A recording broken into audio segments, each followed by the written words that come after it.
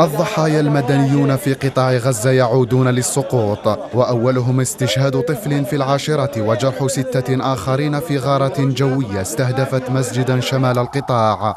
والسبب عودة العدوان إلى ما كان عليه قبل 72 ساعة بعد فشل الوفدان في القاهرة في التوصل إلى تمديد الهدنة.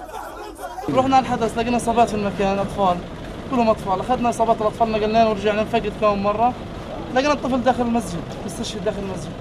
قضية في الرأس من قرب 10 سنين. جيش الاحتلال يعلن رسميا استئناف ضرباته ضد القطاع بقصف جوي من طائرات الأف 16 على عدة مناطق من القطاع غزة فيما شاركت المدفعية والزوارق الحربية في قصفها للمناطق الغربية لبيت لاهيا شمال القطاع.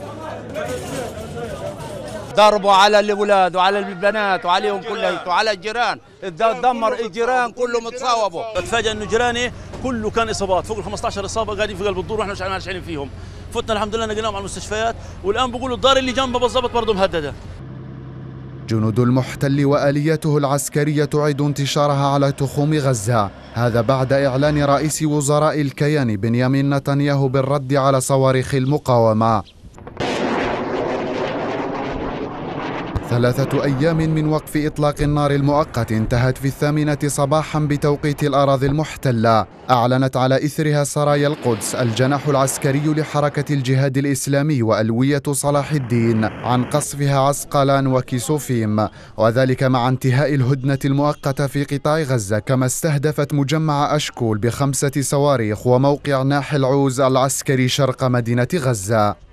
سرايا القدس حملت العدو المسؤولية وقالت إن إسرائيل أنهت التهدئة المؤقتة برفضها مطالب المقاومة. من جانبه قال سامي أبو زهر الناطق باسم حركة حماس صباح اليوم إن الفصائل لم توافق على تمديد التهدئة وأنها مستمرة في التفاوض بالقاهرة.